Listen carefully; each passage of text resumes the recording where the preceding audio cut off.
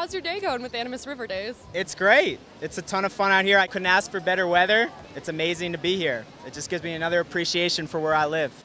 Uh, the river is really excellent. The, the level's been coming up over the weekend. Now it's like 2190, so it's, it's come up about 200 CFS every day. So a pretty good level.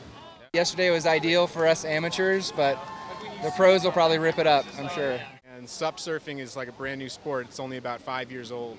Standard gears, uh, helmet, PFD, and like a rescue leash with a breakaway. And you just competed? I did, yeah. I competed in the river surf competition, so that's short boards and no paddles. And then in a second here, I'm going to compete in the, the sup surf competition, which is sup boards and paddles. For me, Animas River Days means time to spend on the water with good friends and a rad community. Well, drinking beers in two hands and hanging out with good friends. And how's this one shaping up? It's shaping up well. It's got nice shape, for sure. Shapely Animas River Days. Yeah, absolutely. I'm Jenny Low with FourCornersTV.com enjoying Animas River Days.